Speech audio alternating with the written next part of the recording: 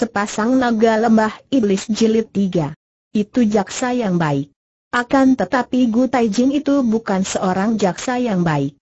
Dia malah menghukum orang baik-baik yang tidak bersalah, membenarkan orang jahat asal orang jahat itu memberinya uang. Dia sewenang-wenang menggunakan kekuasaannya, memaksakan kehendaknya. Seperti kau lihat tadi di kedai minuman. Dia mempunyai banyak tukang pukul untuk menyiksa orang, untuk memaksa orang yang tidak bersalah membuat pengakuan palsu. Hem, kalau begitu dia jahat sekali, sudah pantas diberi hajaran. Akan tetapi mengapa engkau membawa aku pergi melarikan diri titik? Karena, seperti kataku tadi, dia berkuasa dan mempunyai banyak pengawal. Dia tentu tidak akan tinggal diam dan kalau kita tidak cepat lari, sampai dia memanggil banyak pengawalnya, kita dapat saja difitnah sebagai pemberontak dan dihukum mati titik. Wah, kalau begitu kita tidak semestinya lari dari sana. Kita bahkan harus menghukum jaksa jahat itu sampai dia jerah berbuat kejahatan lagi. Berkata demikian, Akau mengepal kedua tinju tangannya dan mengamankan tinjunya. Pemuda remaja itu memandang kagum, lalu dengan kedua tangannya dia memegang dan menekan untuk mencoba kekerasan lengan Akau yang berotot itu. Hem, engkau memang kuat. Bukan main, lenganmu seperti besi baja saja. Akan tetapi, engkau tadi mampu merobohkan tiga orang tukang pukul, apakah engkau mampu mengalahkan tiga puluh orang, atau bahkan tiga ratus orang? Engkau akan menghadapi ribuan atau puluhan ribu pasukan dan hendak kulihat engkau akan bisa berbuat apa titik. Apakah ada pemberontak-pemberontak seperti itu, sobat titik? Kenapa tidak ada? Banyak sekali. Kenapa? tentu untuk merebut kekuasaan. Dan satu antara lain sebabnya adalah pembesar-pembesar tidak becus seperti jaksa itu. Mereka berbuat tidak adil sehingga membuat orang menjadi penasaran dan memberontak. Pemberontakan seperti itu harus dibasmi karena menimbulkan perang yang akan menyusahkan rakyat saja titik.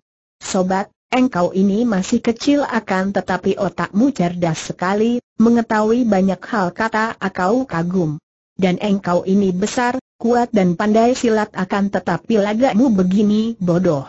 Siapa sih namamu titik?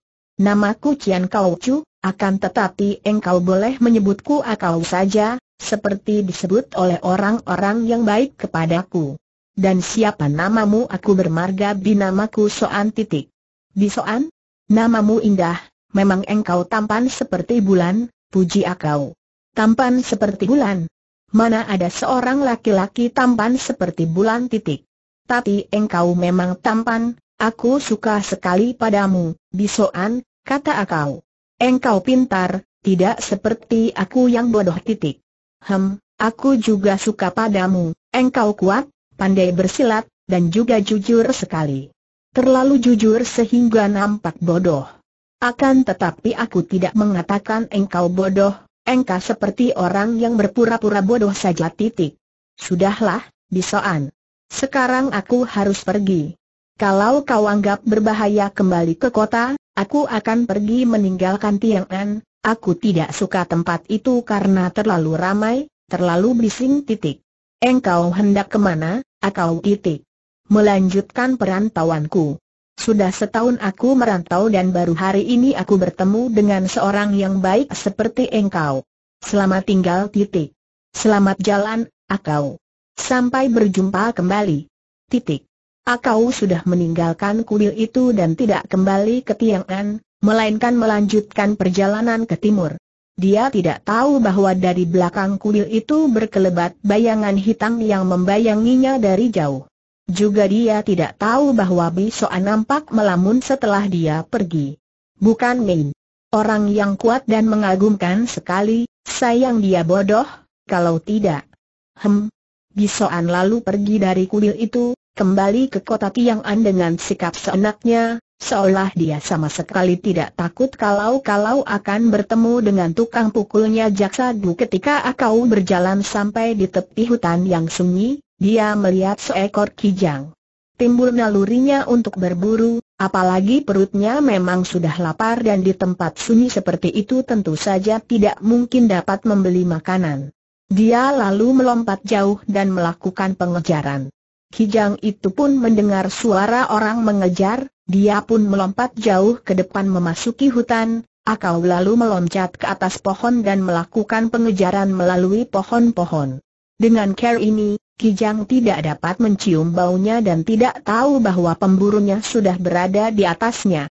Semua ini tidak lepas dari pengamatan orang yang membayangi akau. Orang itu seperti kakek yang usianya tentu lebih dari 60 tahun, bertubuh pendek kecilakan tetapi mempunyai gerakan yang ringan sekali sehingga akau tidak tahu bahwa sejak dari kuil tadi orang itu membayanginya. Bahkan ketika dia melakukan pengejaran terhadap Kijang, orang itu tetap membayanginya, walaupun tidak seperti dia meluncur dari pohon ke pohon. Orang itu berlari seperti terbang saja, menyelinap dari pohon ke pohon lain dan terus membayangi ke mana saja Akau pergi. Setelah tiba di atas Kijang itu, Akau mengeluarkan pekik seperti ketika dia masih hidup di antara kera-kera itu dan tubuhnya meluncur dari atas pohon, tepat menimpa punggung Kijang itu. Kijang itu kaget, meronta, namun lehernya telah dipegang oleh sepasang tangan yang amat kuat dan kepalanya dipunter, maka robohlah Kijang itu, tidak bergerak lagi, mati seketika. Akau mengeluarkan suara penuh kemenangan yang terdengar seperti lengking panjang, kemudian dia membuat api unggun dan tak lama kemudian dia sudah memanggang daging kijang muda yang sedap dan lunak. Sepasang mata yang mengintainya kini berkedip-kedip dan mulut kakek kecil itu berliur ketika bau sedap daging kijang panggang itu menyerang hidungnya. Dia lalu keluar dari tempat sembunyi sambil terkeh. Akau terkejut bukan main. Dia melompat berdiri saking kagetnya. Bagaimana dia tidak dapat mendengar ada orang yang berada begitu dekat dengannya titik. Hihihi, anak muda, bolehkan aku mendapatkan sedikit daging kijang yang kau panggang itu titik. Ah, tentu saja, paman, tentu saja.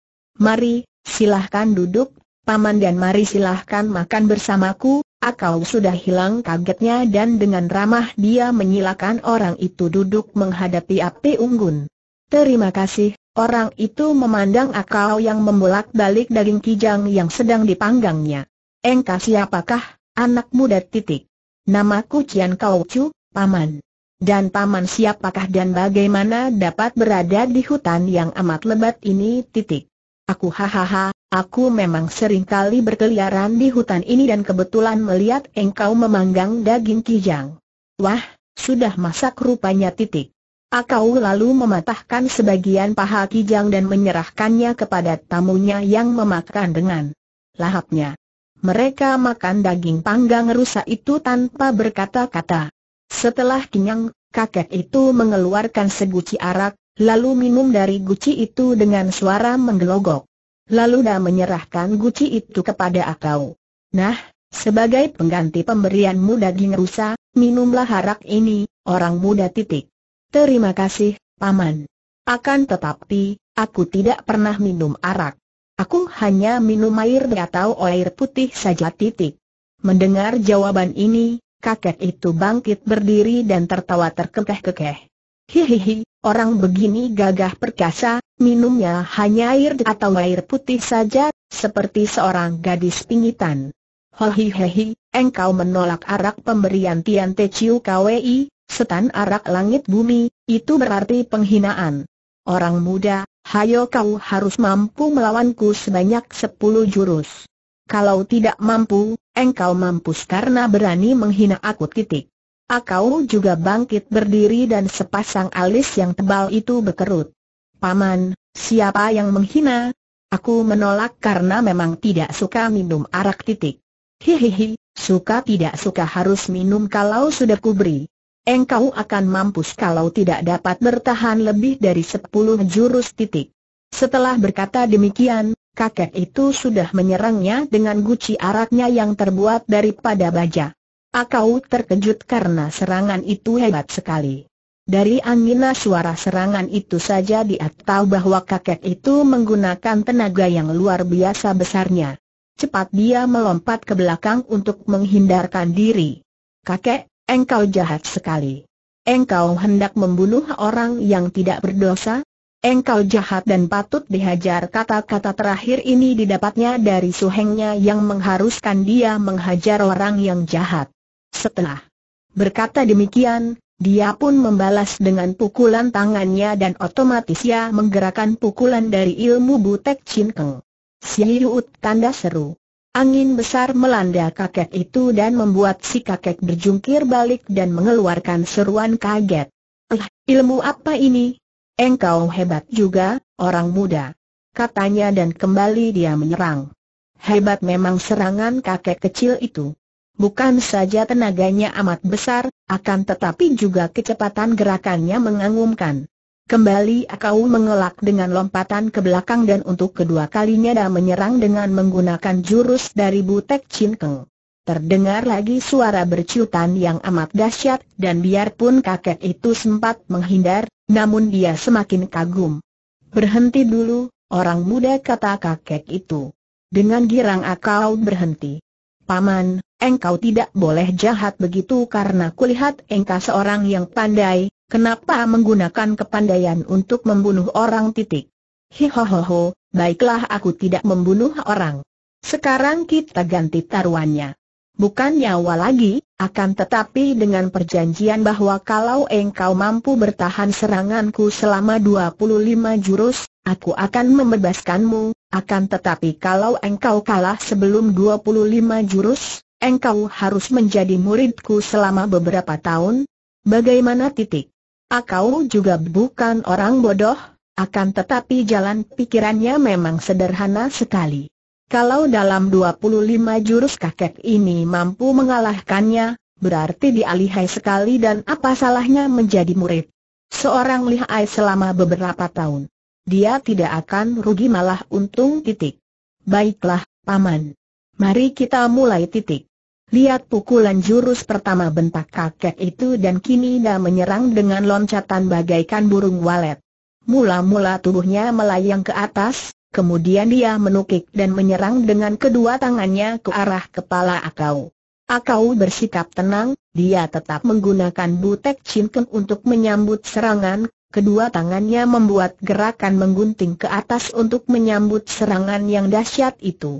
Des tanda seru dua pasang tangan bertemu di udara kakek itu berjungkir balik beberapa kali dan tubuh akal terhuyung, merasa nyeri pada kedua pundaknya karena tadi dirasakan seolah dia telah menahan benda yang beratnya ribuan kati titik. Hihihi, ilmu yang hebat. Sungguh, Hebat tanda seru kakek itu memuji dan dia pun mulai menyerang lagi. Akau juga mengerahkan tenaga dan kepandaiannya untuk melakukan perlawanan, juga kalau sempat dia balas menyerang dengan tak kalah hebatnya. Berkali-kali kakek itu mengeluarkan seruan kaget dan heran, akan tetapi bagaimanapun juga, kakek ini adalah seorang datuk dari daerah timur, maka tentu dibandingkan dengan Akau, dia menang banyak dalam hal pengalaman bertandain. Setelah beberapa kali mengadu tenaga, tahulah dia bahwa biarpun ilmu silat yang dimainkan pemuda itu amat aneh dan hebat bukan main, namun pemuda itu masih belum dapat mengimbangi kehebatan ilmu itu dengan tenaga. Tenaga sinking pemuda itu tidak berapa hebat, dia lebih mengandalkan tenaga otot. Pada jurus ke-22, Tiba-tiba kakek itu menyerang dengan bergulingan di atas tanah. Hal ini membingungkan Akau dan begitu kakek itu mengerahkan tenaga menarik, tanpa dapat dicegah lagi, Akau roboh terpelanting titik. Hihihi, baru 22 jurus engkau sudah roboh. Titik. Engkau harus mengaku kalah, orang muda titik. Akau adalah seorang yang jujur. Biarpun tidak menderita nyeri, akan tetapi dia sudah roboh dan dalam adu kepandaian itu berarti kalah. Maka dia lalu merangkap kedua tangan memberi hormat. Aku mengaku kalah, paman titik. Hus, kenapa menyebut paman? Engkau kalah dan engkau mulai saat ini harus menjadi muridku, tahu. Nah, engkau harus menyebut suhu kepadaku dan menaati semua perintahku titik. Baik, suhu, kata Akau taat karena dia harus memegang janjinya. Kakek itu tertawa terkekeh-kekeh dan merasa girang sekali. Bukan girang karena mendapatkan murid saja, melainkan terutama sekali dia mendapatkan sebuah ilmu silat aneh melalui muridnya ini. Bagus, bagus. Siapa namamu, muridku titik. Suhu, nama kucian Kau Chu dan biasa disebut Akau saja titik. Hahaha, aku sudah melihatmu tadi.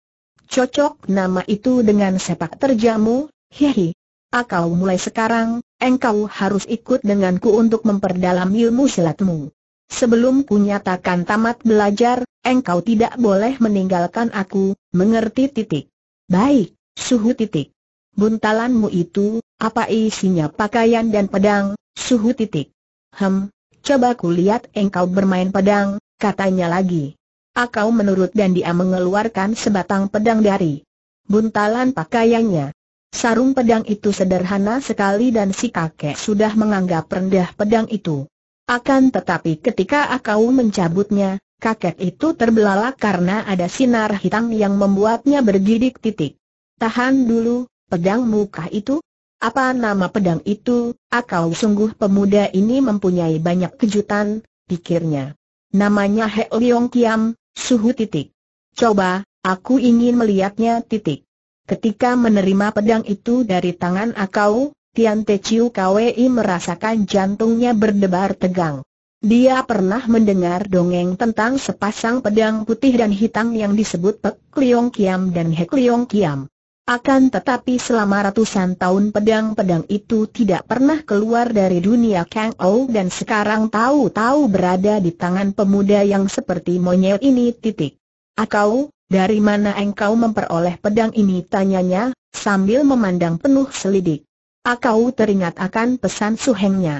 Sampai bagaimanapun, jangan sekali-sekali membuka rahasia tempat ini kepada orang lain, Sute. Baru emas itu saja dapat menimbulkan malapetaka kalau terjatuh ke tangan orang jahat. Akan tetapi, aku harus bilang apa, Suheng? Aku tidak dapat berbohong, bantahnya. Katakan saja engkau mendapatkan di sebuah guha dan aku sudah lupa lagi tempatnya. Sekali waktu berbohong boleh asal bukan untuk menipu orang, sute titik. Demikianlah, teringat akan pesan suhengnya, Akau lalu berkata, aku mendapatkannya dari guruku, suhu titik. Juga ilmu silatmu yang aneh itu? Benar, suhu titik. Dan siapa gurumu itu guruku sudah mati, Namanya adalah Yang Koit titik. Kakek kecil itu membelalakan matanya yang kecil. Yang Koit, bekas panglima itu? Tahukah engkau bahwa dia adalah seorang bekas panglima yang buron dan menjadi kejaran orang? Dan tahukah engkau bahwa dia mempunyai seorang cucu pula? Apakah engkau cucunya itu titik? Ah, bukan suhu. Aku tidak tahu tentang cucunya. Suhu sudah meninggal dunia, dan aku sudah tidak mempunyai ayah ibu atau saudara lagi titik. Kakek kecil itu berpikir. Agaknya tidak mungkin kalau bocah ini cucu yang koet. Bocah ini lagaknya seperti orang hutan saja, walaupun ilmu silatnya hebat dan pedangnya lebih hebat pula. Nah, kau mainkan pedang itu katanya. Akau segera bermain pedang. Akan tetapi berbeda dengan Yang Chin yang dapat mengubah ilmu pedang dari ilmu butek Chin Keng, Akau hanya dapat memainkan ilmu pedang yang pernah dia pelajari dari Yang Koet, yaitu ilmu pedang Gobi Pai. Yang Koet adalah seorang murid Gobi Pai. Melihat ini, kakek itu kecewa. Dibandingkan ilmu silat tangan kosongnya, ilmu pedang pemuda ini tidak ada artinya, dan permainan pedang dengan ilmu pedang Gobi Pai itu membenarkan keterangannya bahwa dia murid yang koet. Cukup, simpan pedangmu baik-baik. Pedang itu amat berharga dan jangan sampai terjatuh ke tangan orang lain, akau, katanya. Mari kita berangkat, tempat tinggalku di puncak bukit sana itu titik. Datuk sesat seperti Tian Te Chiu Kwei tentu saja tidak. Bersungguh-sungguh ingin mengambil murid seperti akau. Dia ingin mengambil murid Akau karena ingin mempelajari ilmu silat tangan kosong yang dimainkan Akau tadi. Harus dia akui, bahwa kalau Akau lebih matang ilmunya, agaknya akan sukar baginya untuk dapat mengalahkan ilmu pemuda itu. apalagi setelah melihat Hek Leong Kiam. Tentu saja kini tidak hanya ilmu silat pemuda itu yang ingin dia peroleh, akan tetapi juga pedang hitam itu. Akan tetapi dia harus bersabar karena ilmu silat itu harus dia pelajari satu jurus demi satu jurus. Dan untuk membuat pemuda itu tidak curiga kepadanya, dia harus benar-benar mengajarkan Sin Kang dan ilmu lain kepadanya. Kalau pemuda itu kelak menyenangkan hatinya, bukan hanya ilmu pedang dan pedang itu yang dapat menjadi miliknya, akan tetapi pemuda-pemuda itu pun dapat dijadikan pembantu yang amat berguna. Demikianlah, mulai hari itu Akau menjadi murid Tian Te Chiu KWI, dia tidak tahu bahwa gurunya adalah seorang datuk sesat yang amat jahat dan kejam baru setahun Akau tinggal bersama Tian Te Chiu KWI di puncak bukit itu, dia sudah merasa tidak betah sama sekali. Watak kakek itu mulai kelihatan. Setiap harinya hanya minum arak sampai mabok dan kalau sudah begitu dia memaksa akal untuk berulang-ulang melakukan jurus ilmu silat dari Butek Chin Keng, mengulang dan mengulanginya lagi. Kakek itu merasa mendapatkan ilmu yang aneh dan sukar bukan main. Rasanya ada sesuatu yang salah dalam ilmu silat itu, akan tetapi harus diakuinya bahwa ilmu itu amat dahsyat. Maka agak sukarlah baginya untuk dapat mengerti intisari ilmu itu. Dia juga mengajarkan sama di kepada Akau dan justru Akau paling tidak suka pelajaran ini yang dianggapnya tidak berguna dan membuang-buang waktu saja. Pada suatu hari datanglah seorang tamu di puncak itu. Tamu ini seorang kakek berusia 60 tahun, tinggi besar, raksasa hitam karena kulitnya amat hitam. Dia membawa sebatang golok yang punggungnya seperti bentuk gergaji, pakaiannya mewah dan agaknya dia seorang pejabat tinggi, karena kedatangannya diiringkan selusin pasukan pengawal. Begitu melihat orang ini, Tian Te Chiu KWI bersorak gembira. Hai sahabatku yang baik, Toat Beng Giamong Luitat, angina apa yang meniupmu ke sini? Titik. Tian Te Chiu KWI, angin baik yang membawaku ke sini, dan kulihat engkau masih menjadi setan arak seperti dulu titik. Hihihi, dan engkau menjadi seorang pejabat tinggi yang dimuliakan orang agaknya. Amboi ii titik. Dan kedatangku ini untuk memberi bagian kemuliaan yang sama kepadamu, Ciu KWI. Aku menawarkan kedudukan yang baik bagimu kalau engkau mau ikut bersamaku ke kota raja menghadap Sri Baginda Kaisar titik. Hem, mari kita duduk dan bicara di dalam, Giamong titik. Kedua sahabat itu bergandeng tangan, seorang raksasa tinggi besar dan seorang yang pendek kecil, lalu memasuki pondok Ciu KWI. Raksasa itu berteriak menyuruh anak buahnya beristirahat agak jauh dari situ agar jangan mengganggu percakapan mereka. Ketika berada di dalam dan melihat Akau, Giamong mengerutkan alisnya. Siapa dia? Ciu KWI titik. Haha, dia muridku yang baik, Giamong. Eeha, Akau, cepat memberi hormat kepada sahabatku ini. Engkau harus menyebutnya Taijin karena dia pejabat tinggi dari kota Raja titik. Heh, kalau dia muridmu tidak perlu memakai banyak peraturan, Ciu KWI. Orang muda, sebut saja aku Lo Pua titik. Selamat datang, Lo Pua, kata Akau sambil memberi hormat. Hei, Akau.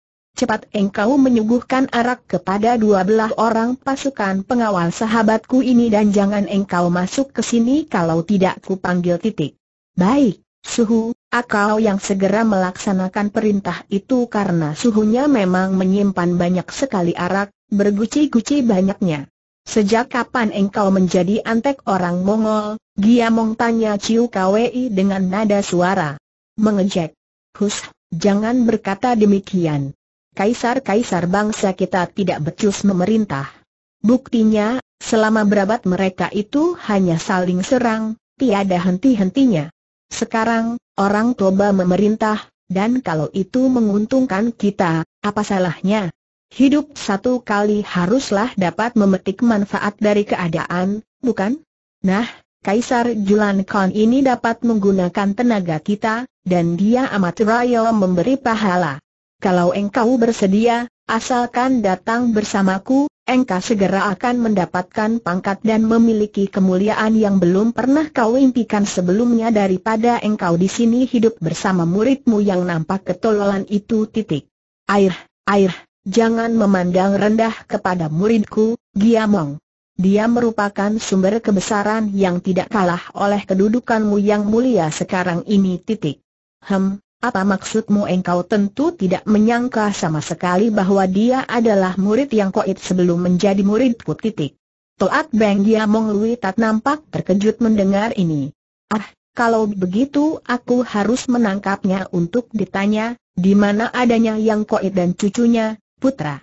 Pemberontak yang koan itu titik. Tenang, tenang dan bersabarlah, sobat kakek yang koit telah meninggal dunia dan dia sama sekali tidak tahu di mana adanya cucunya.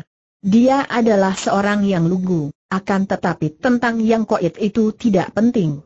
Ada yang lebih penting lagi dan engkau pasti akan tertarik sekali mendengarnya titik. Hem, apalagi yang penting itu titik. Dia mempunyai suatu ilmu yang amat hebat, dan aku sedang mempelajarinya. Orang ini dapat amat berguna kelak untuk membantu kita dalam segala hal titik. Hem, kalau dia masih mau menjadi muridmu, ilmu hebat apakah yang dia kuasai? Tanya Toat Beng Giamong, tentu saja tidak percaya karena kalau pemuda itu memiliki ilmu hebat tentu tidak mau menjadi murid orang lain. Giamong, untuk membuktikan omonganku tadi, Mari coba kita main-main sebentar dan aku boleh menyerangku dalam tiga jurus titik. Giamong adalah seorang ahli silat dan dia mengerti benar bahwa rekannya itu tidak memiliki kepandaian silat yang terlalu istimewa akan tetapi paling hebat hanya dapat mengimbanginya saja. Tingkat kepandaian mereka tidak berselisih jauh, maka mendengar dia ditantang bertanding selama tiga jurus, hatinya tertarik sekali. Baik, hendak kubuktikan omonganmu, katanya dan mereka berdua segera memasang kuda-kuda. Ciu Kwei, lihat seranganku katanya kemudian dan dia menyerang dengan dahsyat, dengan kedua tangannya yang panjang besar. Akan tetapi Tian Te Ciu Kwei tidak mengelak, melainkan meluruskan kedua tangan menyambut dan dari kedua tangannya itu menyambar angina yang aneh, membuat Giamong terkejut dan mengelak, lalu melanjutkan dengan Serangan jurus kedua. Kembali Ciu Kwei membuat gerakan aneh dan daya pukulan Giamong meleset dengan sendirinya. Jurus ketiga dipergunakan oleh Giamong untuk menyerang dengan seluruh tenaganya, menggunakan pukulan jarak jauh dengan kedua tangan terbuka. Ciu Kwei menyambut dengan kedua tangan terbuka pula dan akibatnya. Giamong terdorong mundur sampai terhuyung titik. Wah, ilmumu meningkat hebat, Ciu Kwei seru Giamong terkejut dan kagum, juga penasaran. Inilah berkat aku mempelajari ilmu aneh dari muridku, Giamong. Ini baru beberapa jurus saja dan amat sukar dipelajari. Nah, apakah murid seperti ini hendak dimusnahkan begitu saja? Masih ada lagi hal penting lain kecuali ilmu ini. Dia memiliki He Leong Kiam titik. He Leong Kiam. Titik. Kau maksudkan Pek He Leong Kiam sepasang pedang kembar dalam dongeng itu titik. Tidak salah. Dia memiliki He Leong Kiam yang katanya dia terima dari mendiang yang koet. Nah, karena itulah dia ku ambil murid dan orang macam ini dapat kita pergunakan. Sebagai muridku tentu dia akan menaati semua perintahku titik. Hahaha, engkau cerdik sekali, Ciu Kwei. Bagus, kalau begitu engkau dan muridmu itu ku minta untuk bekerja di istana. Kaisar tentu akan senang sekali memberi kedudukan tinggi kepadamu titik. Eh, Giamong, ada apa ini? Tiada hujan tiada angin engkau bersikap begitu baik padaku? Aku menjadi curiga titik. Hahaha, kawan, siapa yang berbuat baik kepadamu? Aku berbuat baik bukan untukmu, melainkan untuk diriku sendiri. Sekarang banyak gejala timbulnya pemberontakan di sana-sini dan dengan sendirinya sebagai seorang penasihat militer kaisar, aku mempunyai banyak tugas, mempunyai banyak musuh. Aku membutuhkan kawan yang dapat diandalkan, dapat dipercaya dan aku memutuskan bahwa engkaulah orangnya yang tepat. Ciu Kwei, kita sudah semakin tua. Kalau tidak sekarang menggunakan kesempatan untuk hidup berkecukupan dan terhormat, mau kapan lagi titik. Tian Te Chiu Kwei mengangguk-angguk engkau benar juga, kawan. Baiklah, aku akan membicarakan dengan muridku, dan sebaiknya kalau engkau pulang lebih dulu. Dalam bulan ini juga kami tentu akan pergi ke Tiangan dan menghadap Kaisar di sana. Ku harap saja semua akan berjalan lancar titik. Cari saja aku lebih dulu, mudah mencari rumah Lui Koksu, guru negara Lui, di sana aku akan membawamu menghadap Sri Baginda Kaisar titik. Baik, Giamong, eh Koksu kata Ciu Kwei gembira. Setelah para tamunya pergi, Ciu Kwei memanggil Akau. Muridku yang baik, peruntunganmu memang bagus sekali. Kau tahu siapa yang datang berkunjung tadi titik. Akau menggeleng kepalanya. Nampaknya seorang pembesar titik. Memang benar. Akan tetapi pembesar yang bagaimana? Dia penasehat kaisar. Dia pejabat yang kedudukannya tinggi sekali. Dan kau tahu apa keperluannya datang ke sini tadi titik? Tidak tahu, suhu. Agak dia berkunjung karena suhu adalah sahabatnya titik. Memang benar, akan tetapi dia datang menawarkan kedudukan kepada kita titik. Kita, suhu ya, engkau dan aku. Kita akan berangkat ke kota raja, Akau dan di sana kita akan menjabat kedudukan tinggi, menjadi orang-orang terhormat dan mulia, hidup serba kecukupan titik. Akan tetapi di dalam hatinya, Akau tidak begitu suka mendengar ini. Dia akan memasuki kehidupan baru dan dia teringat akan pengalamannya di kota raja. Teringat kepada jaksa yang sombong itu. Kalau para pejabat seperti itu wataknya, tentu kehidupan di kota raja akan menjadi tidak amat menyenangkan. Akan tetapi dia teringat kepada Bisoan, pemuda remaja yang lucu dan menyenangkan itu. Dan mendadak saja wajahnya berubah berseri gembira titik. Suhu, aku senang sekali pergi ke kota raja. Di sini sudah kurang lebih setahun, membosankan karena sepi sekali titik. Bagus, kalau begitu kita berkemas, besok pagi-pagi kita melakukan perjalanan ke kota raja, akau titik ayah, aku telah dihina orang, ayah kata gadis itu dengan sikap manja sekali. Perdana Menteri Ji San Chai mengerutkan alisnya. Gadis itu adalah putri tunggalnya yang amat disayangnya. Siapa berani menghinamu tanyanya marah. Seorang jaksa di rumah minum, dia telah menghinaku titik. Di kedai minum. Engkau tentu telah pergi dalam penyamaranmu lagi, Goat Ji, anak Goat tanda seru kata ayahnya mencela dan kemarahannya mereda. Kalau ada orang menghina anaknya dalam penyamaran, hal itu tidak aneh karena tentu orang itu tidak tahu bahwa Ji Goat adalah putrinya. Putrinya ini suka sekali keluyuran menyamar sebagai seorang pria, nakalnya bukan main. Akan tetapi, jaksa Gu itu memang kurang ajar sekali. Biarpun dia tidak mengenalku, dia tidak boleh menghina orang seenaknya saja. Aku dan seorang teman sudah memberi hajaran kepada dia dan anak buahnya, akan tetapi aku khawatir dia akan mencariku dan kalau bertemu tentu anak buahnya akan menyerangku titik. Hem, lalu apa yang harus kulakukan? Jaksa Gu cukup berpengaruh di kalangan rakyat, dia seorang jaksa yang keras titik. Keras terhadap rakyat miskin, akan tetapi lunak terhadap orang kaya, bukan begitu, ayah. Jangan mengira aku tidak tahu, ayah. Kelakuan sebagian besar para pejabat di kota raja sudah berada di tanganku. Tidak sia-sia aku suka berkeluyuran menyamar sebagai pria karena banyak hal yang ku ketahui titik. Sudahlah, jangan macam-macam. Lalu apa yang kau ingin lakukan titik? Undang jaksa gu ke sini ayahi. Kalau sudah datang lalu bagaimana? Menegurnya titik. Tidak usah. Aku yang akan menghadapinya kelak titik. Saking cintanya kepada anaknya, dan kadang suka memanjakan, Perdana Menteri Ji San Chai tidak menolak dan segera mengiring utusan menyampaikan surat mengundang datang Jaksa Gu. Jaksa Gu terkejut juga menerima undangan Perdana Menteri Ji, maka bergegas dia datang berkunjung dalam pakaian kebesarannya yang mewah. Akan tetapi ketika tiba di rumah itu, penjaga mempersilahkan langsung ke kamar tamu di sebelah kiri dan kata penjaga Perdana Menteri sudah tahu akan kedatangannya. Ketika dia memasuki ruangan tamu yang pintunya terbuka itu, dia tertegun melihat siapa yang menyambutnya. Anak muda kurang ajar yang tempo hari dijumpainya di kedai minum dan yang bersama pemuda tinggi besar yang telah menghajar dia dan para anak buahnya, pemuda ini sudah berhari, hari diacari tak juga berhasil. Engkau tanda seru. Setan cilik, mau apa engkau di sini? Aku.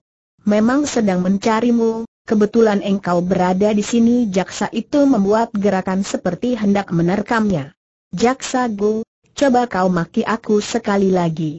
Yang keras, yang lengkap begitu titik. Setan cilik kurang ajar, jahanan keparang anjing babi jaksa itu memaki sambil menudingkan telunjuknya kepada Ji Goat yang berpakaian seperti seorang pemuda miskin dengan kepala ditutupi topi butut. Pada saat itu, Seng Perdana Menteri muncul dari dalam. Melihat pembesar ini, Jaksa Gu cepat membungkuk memberi hormat. Eh, eh Jaksa Gu. Kenapa engkau marah-marah? Aku mendengar engkau memaki-maki, siapa yang kau maki itu titik. Maaf, Yang Mulia. Yang saya maki adalah setan cilik ini katanya sambil menudingkan telunjuknya kepada Ji Goat dengan mata mendelik. Kenapa engkau memaki dia titik? Tempo hari, di kedai minum, dia telah menghina saya dan anak buah saya. Mungkin dia itu pemberontak, Yang Mulia harus ditangkap dan dihukum berat titik. Ah, begitukah? Goat Ji, lepaskan pakaian dan topimu itu titik. Ji Goat lalu melepaskan topi penutup kepalanya dan baju laki-laki seperti jubah butut itu, dan kini nampaklah ia seorang gadis cantik dengan rambut terurai dan pakaian puteri yang indah. Jaksa Gu terbelalak, lalu dia mengerti karena dia tahu bahwa Perdana Menteri mempunyai seorang anak perempuan. Bocah setan itu ternyata putri Perdana Menteri. Mukanya seketika menjadi pucat sekali. Dengan tubuh gemetar ia berkata gugup. Ah ah, Paduka, ahaha, jadi ini adalah putri Paduka titik. Hem jaksa gu, engkau hendak memaki lagi puteriku? Boleh, silahkan maki lagi sepuasmu titik. Tiba-tiba jaksa gu merasa lututnya lemas dan dia menjatuhkan diri berlutut di depan Perdana Menteri, yang mulia, hamba mohon ampun, karena tidak tahu maka hamba. Engkau memaki aku sebagai setan cilik kurang ajar, jahanam keparat dan anjing babi, yakini Ji Goat bertanya sambil tersenyum mengejek. Saya, saya tidak berani. Mohon maaf sebanyaknya. Kata jaksa Gu dengan muka pucat dan berulang kali dia menganggukkan kepalanya. Ah, begitu? Jelas sekarang macam apa adanya engkau, Jaksa Gu. Dalam kedudukanmu dan tugasmu, engkau tentu bersikap seperti ini juga. Berhadapan dengan orang melarat, dengan rakyat jelata, engkau memaki-maki, bersikap kasar, mudah menjatuhkan hukuman dan melakukan penindasan semena-mena. Akan tetapi terhadap atasan dan orang kaya, engkau menunduk-nunduk dan membela, tentu karena menerima sogokan dari orang kaya, begitukah titik? Tidak, tidak berani. Hanya itu yang dapat diucapkan jaksa Gu yang sudah tidak berdaya itu karena dia seorang telah tertangkap basah memaki-maki senak perutnya kepada setan cilik tadi. Kau memaki aku setan cilik, jahanam keparat dan anjing babi, hukuman apa yang harus kubalaskan kepadamu? Hayo kau pukul sendiri mukamu sebanyak sepuluh kali kata Jigoat dengan marah. Karena sudah merasa bersalah dan mengharapkan pengampunan, jaksa itu lalu menampari mukanya sendiri dengan kedua tangan sebanyak sepuluh kali sambil memaki diri sendiri, anjing kau, babi kau, jahanam keparat kau tanda serunah, sekarang kau harus berjanji, kalau engkau masih melanjutkan sikapmu seperti itu, menindas orang kecil dan menjilat orang besar, memeras orang dan korupsi, ayah pasti akan melaporkannya kepada Sri Baginda titik. Ampun, saya tidak berani lagi. Jaksa itu meratap, mukanya pucat, hanya kedua pipinya yang membengkak merah karena ditampari sendiri tadi. Pergilah Jigoat membentak dan jaksa yang gendut itu setengah merangkak meninggalkan ruangan itu. Setelah dia pergi, Jigoat tertawa terkekeh-kekeh. ayahnya mengerutkan alisnya. Jigoat, engkau agak keterlaluan. Biarpun di depan kita dia tidak berani apa-apa, akan tetapi aku khawatir dia mendendam kepadamu titik. Takut apa, ayah? Kalau baru, dia dan selusin pengawalnya saja, mampu berbuat apa kepadaku? Dan juga nama besar ayah tentu membuat dia ketakutan, lebih lagi kalau aku melapor kepada suhu, tentu dia akan dihajar titik. Sudahlah, jangan membawa-bawa gurumu dalam urusan kecil itu. Jangan urusan ini dibesar-besarkan karena kurasa jaksa Gu sudah jera dan tidak akan berani bermain gila lagi titik. Aku akan tetap mengawasi orang-orang macam dia, ayah. Engkau akan kekurangan tenaga dan kelelahan, anakku. Di zaman ini, hampir semua pejabat tidak jujur.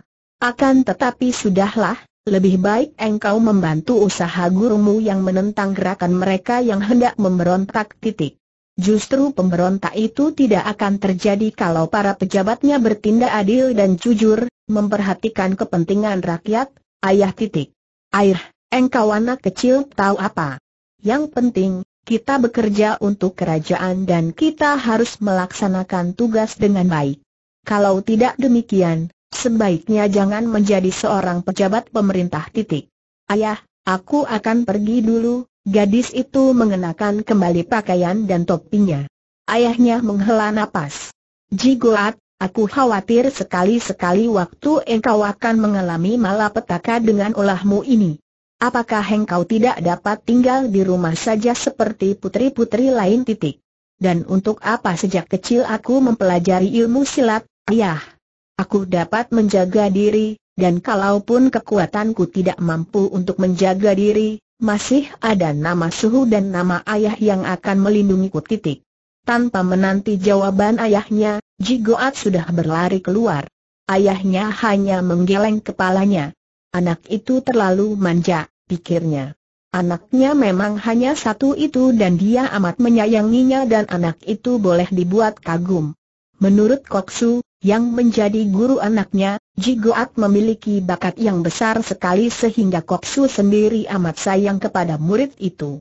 Beberapa bulan yang lalu, seorang diri saja, Jigoat sudah berhasil membongkar pencurian-pencurian di istana kaisar yang ternyata dilakukan oleh orang dalam, beberapa pengawal istana.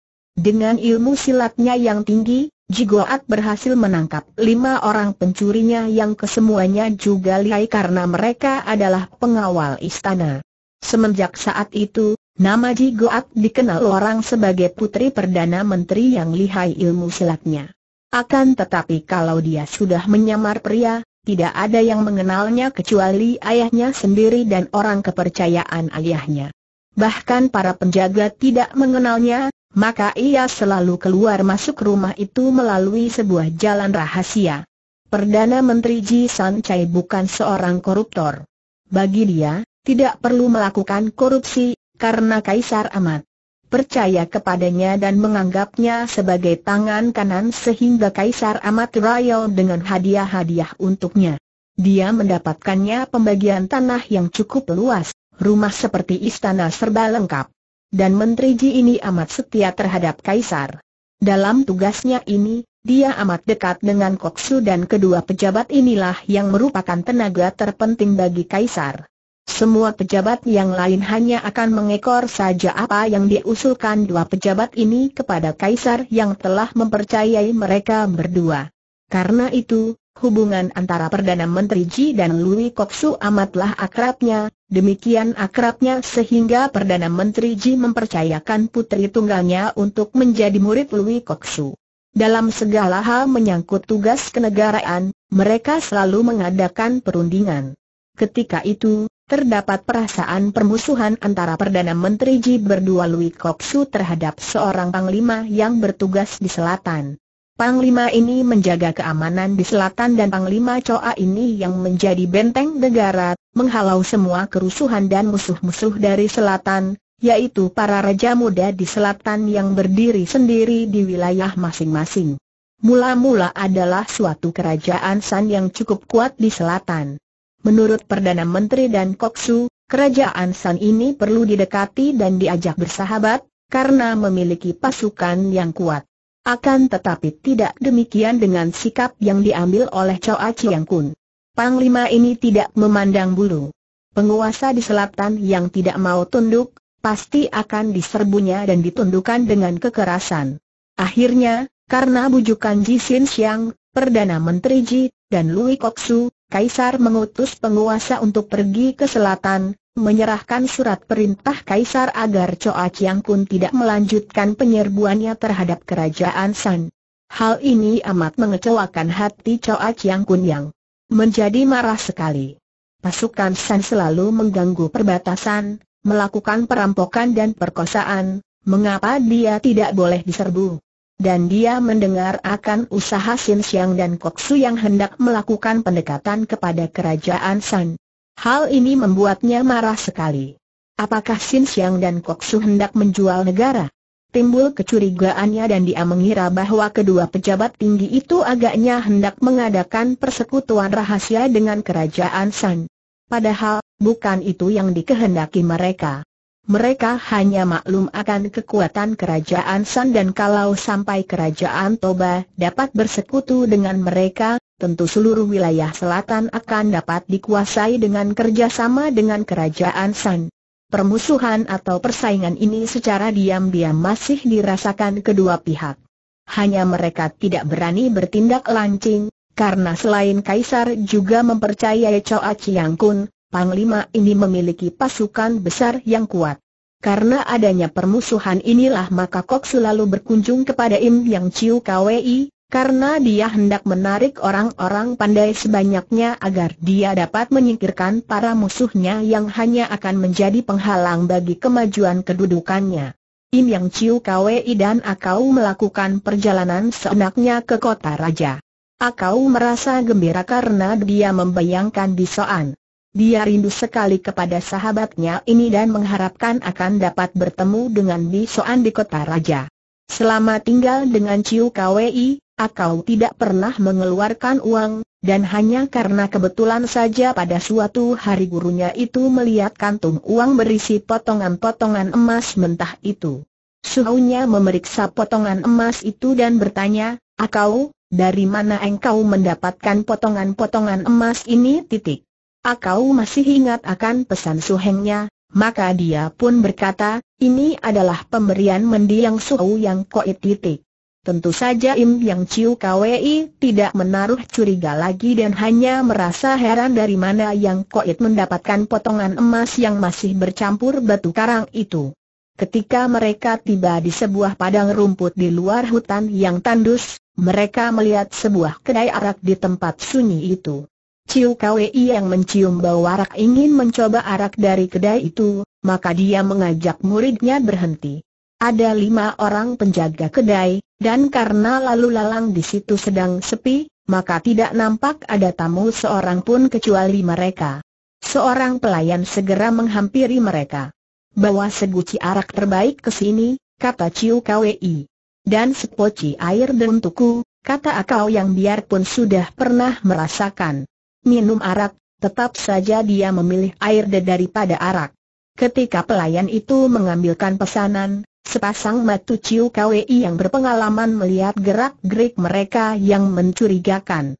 Oleh karena itu ketika arak dan air datang, dia mencegah muridnya untuk minum air tehnya dan dia menangkap lengan pelayan itu.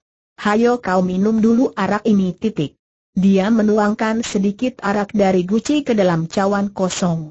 Pelayan itu menjadi pucat wajahnya. Dia meronta dan menggeleng kepalanya. Tidak aku, tidak biasa minum arak. Titik. Kalau begitu, engkau cicipi air ini bentak Ciu Kwei dan ketika orang itu pun menggeleng kepala, Ciu Kwei memaksa mulutnya terbuka dengan tangan kirinya dan tangan kanannya menuangkan air teh ke dalam mulutnya.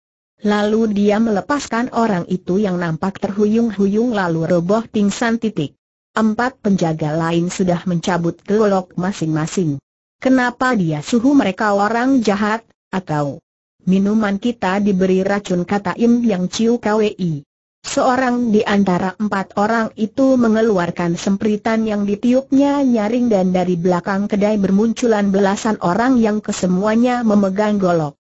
Im Yang Chiu KWI duduk menghadapi meja, mengeluarkan arak dari gucinya sendiri dan sambil menghadapi guci dan cawan arak, dia berkata, Akau, keluarkan pedangmu dan kau lawanlah penjahat-penjahat itu titik. Baik, suhu, kata Akau dan dia sudah mencabut pedang He Leong Kiam dari sarungnya.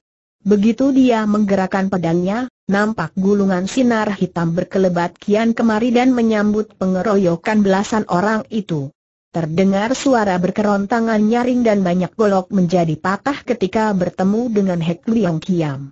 Akau yang hendak menyenangkan gurunya, menggunakan ilmu pedang yang dia pelajari dari gurunya, memainkan pedangnya sehingga sinar pedang itu bergulung-gulung merobohkan belasan orang itu dalam waktu singkat saja penjahat harus dihajar, dia teringat pesan suhengnya, akan tetapi jangan mudah membunuh orang kalau tidak terpaksa sekali. Maka dia pun hanya merobohkan para pengeroyoknya tanpa membunuh, hanya melukai paha atau pundak mereka saja. Dalam waktu beberapa menit saja, semua orang yang mengeroyoknya telah dirobohkan, dan cepat pula pedang itu sudah memasuki sarung kembali. Ihaha, akau, Mengapa begitu engkau memainkan pedangmu? Coba beri aku pinjam sebentar, kata Ciu Kwei. Karena tidak mengerti maksud suhunya dan mengira suhunya itu hendak memperlihatkan jurus yang mungkin kurang benar dia menggerakkannya, maka dia mencabut pedangnya dan menyerahkannya kepada suhunya. Seharusnya begini engkau menggunakan pedang gurunya bergerak berloncatan ke sana sini dan akau terbelalak, karena gurunya telah membabati pengeroyoknya tadi, ditebasnya semua leher orang-orang itu termasuk pelayan yang tadi terbius sehingga dalam waktu singkat saja semua kepala terpisah dari badannya. Suhu, mengapa suhu tanda tanya akau berseru heran ketika gurunya mengembalikan pedang itu kepadanya. Memang gurunya hebat. Memenggal belasan batang leher itu pedangnya sama sekali tidak ternoda darah. Hal ini hanya dapat terjadi saking kuat dan cepatnya pedangnya itu membabati leher belasan orang itu. Mengapa apa? Mereka menghendaki kematian kita, kenapa kita tidak mendahului saja mereka? Hayo kita pergi dari sini titik. Tapi, mereka itu, suhu. Koma akau teringat akan pelajaran dari kakek yang koit bahwa mayat manusia haruslah dikubur sebagaimana mestinya. Mereka sudah mampus, tidak perlu dipikirkan lagi. Mereka hendak mencelakakan kita, berarti mereka itu musuh yang pantas dibunuh hayolah, akau bentak Ciu Kwei agak kecewa melihat sikap muridnya yang dianggapnya lemah itu. Terpaksa akau mengikuti gurunya dan beberapa kali dia menoleh memandang ke arah belasan mayat manusia yang berserakan itu. Sejak saat itu akau mulai menaruh hati syakwa sangka terhadap gurunya. Tak dapat dia melupakan betapa gurunya itu memenggal kepala belasan orang yang sudah tidak berdaya itu secara kejam sekali. Padahal menurut ajaran Yang Koit dan juga suhengnya, seorang gagah tidak akan membunuh orang yang sudah tidak berdaya dan tidak dapat melawan. Dan lebih lagi, gurunya meninggalkan belasan mayat itu begitu saja tanpa mau menguburkannya.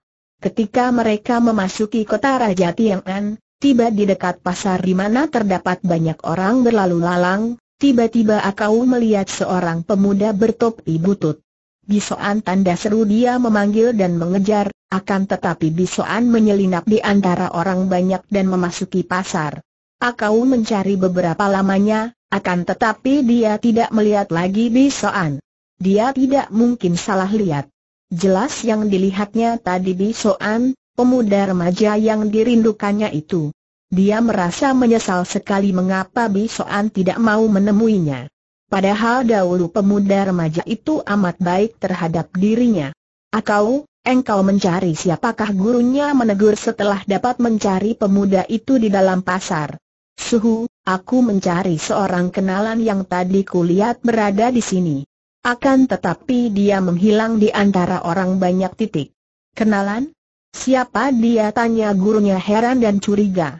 Tentu saja akau tidak ingin menceritakan pengalamannya bentrok dengan seorang jaksa, maka dia menjawab singkat.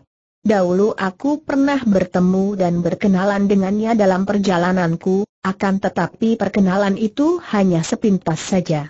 Mungkin dia sudah lupa kepadaku, suhu titik. Sudahlah, jangan pedulikan sembarang orang. Kita akan menjadi tamu koksu dan bahkan akan mendapatkan jabatan tinggi yang terhormat, jangan bergaul dengan segala macam orang. Mari kita lanjutkan perjalanan kita titik. Akau mengikuti suhunya, akan tetapi dia masih memandang ke sana sini mencari-cari dan hatinya merasa kecewa sekali. Bisoan merupakan orang yang selalu teringat olehnya, kenapa sekarang tidak lagi mau mengenalnya? Apa barangkali Bisoan sudah lupa kepadanya? Dia sungguh kecewa karena tadinya dia mengira bahwa Bisoan amat baik kepadanya, seperti halnya suhengnya. Sangat mudah bagi Tian Te Chiu KWI untuk mencari tahu di mana rumah Kok Sului. Semua orang juga mengetahui di mana istana tempat tinggal penasehat kaisar itu. Rumah besar seperti istana itu dijaga oleh belasan orang prajurit yang menghadang guru dan murid itu. Berhenti, siapa kalian dan ada keperluan apa datang ke sini bentak perwira jaga dengan keren. Ciu Kwei tertawa dan berkata, Hei, i, perwira, jangan bersikap kasar terhadap kami. Kalau Koksu mengetahui, pangkatmu tentu akan diturunkan.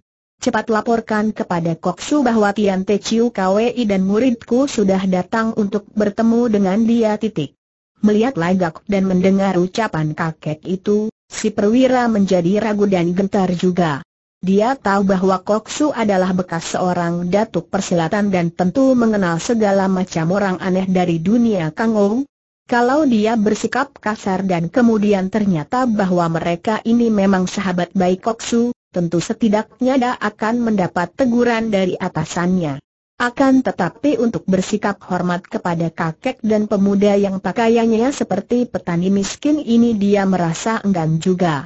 Baiklah, harap kalian menanti di sini, aku hendak melapor ke dalam lebih dulu, katanya dan perwira itu sendiri lalu melapor ke dalam.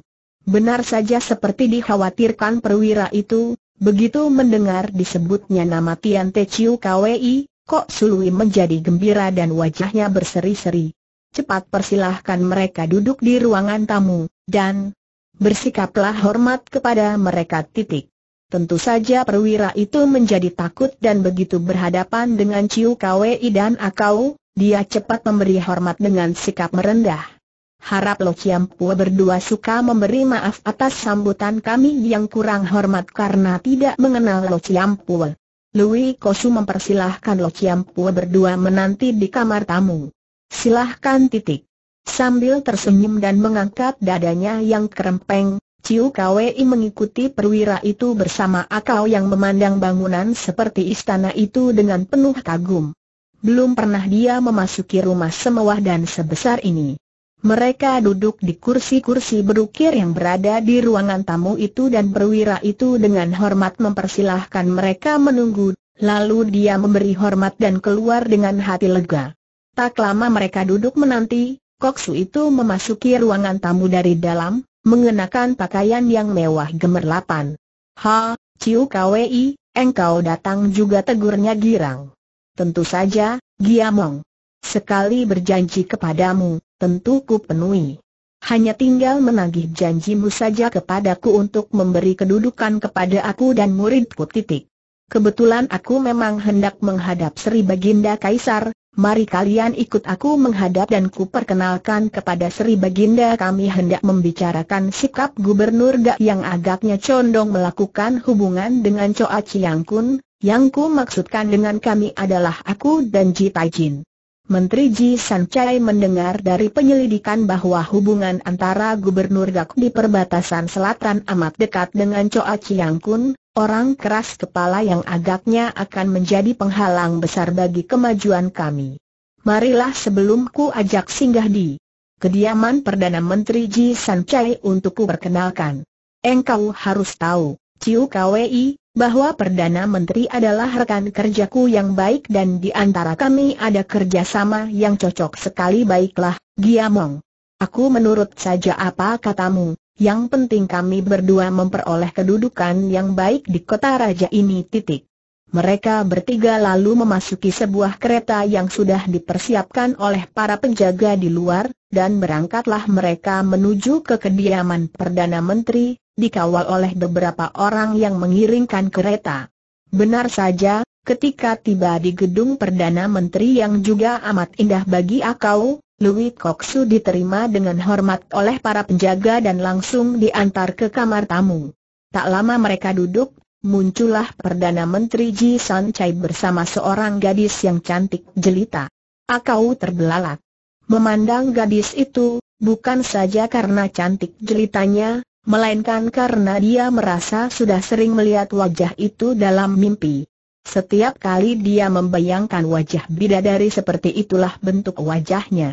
Ketika gadis itu memandang kepadanya, Akau tersiput dan cepat menundukkan mukanya karena menurut ajaran yang diterima dari suhengnya, sikap seperti itu, memandang langsung wajah seorang gadis yang tidak dikenalnya, apalagi dengan pandangan kagum, adalah sikap yang tidak sopan titik. Louis Koksu Toat Beng Giamong segera memberi hormat kepada Perdana Menteri dan putrinya. Maafkan kalau kami mengganggu Ji Taijen dan Ji Chia titik.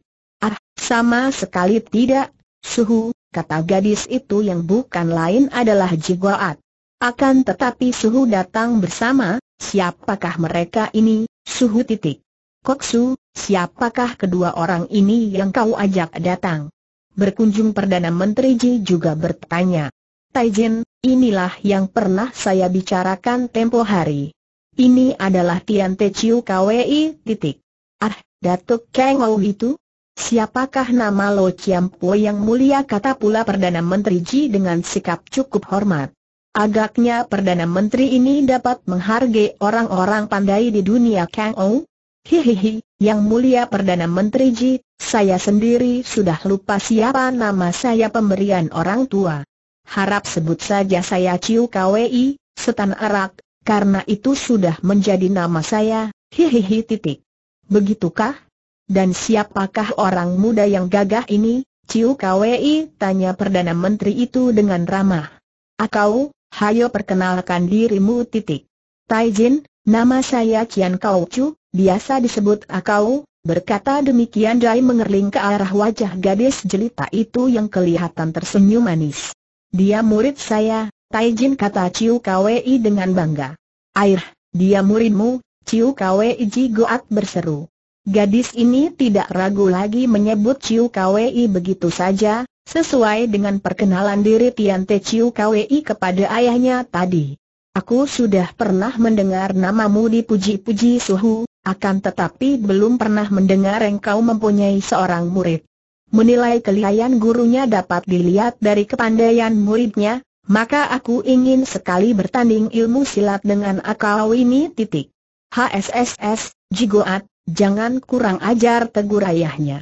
Hahaha, apa salahnya, Taijin? Jisoo Chia adalah murid saya dan Akau ini adalah murid Chiu Kwei. Kami berdua adalah sahabat sejak lama dan saya sudah pula menguji ilmunya. Apa salahnya kalau Jisoo Chia menguji ilmu murid Chiu Kwei? Mari. Kita sama menonton titik. Karena ruangan tamu itu cukup luas, maka Ji Goat yang ingin sekali menguji kepandaian akal sudah memasang kuda-kuda menghadapi pemuda tinggi besar itu dan berkata, Akau, aku sudah siap, keluarkan ilmumu agar ayah dan aku dapat melihatnya titik. Akau, kita hendak mencari pekerjaan di kota raja, maka perlihatkanlah kemampuanmu, kata pula Tian Te Chiukli kepada muridnya. Sebetulnya Akau merasa enggan sekali untuk bertanding melawan gadis itu. Gadis yang demikian cantiknya lemah gemulai sehingga tertiup anginnya keras saja agaknya akan roboh, kulitnya begitu halus, bagaimana dia dapat memukul seorang gadis seperti itu? Dia meragu, dan berdiri biasa saja, tidak memasang kuda-kuda seperti Nona itu.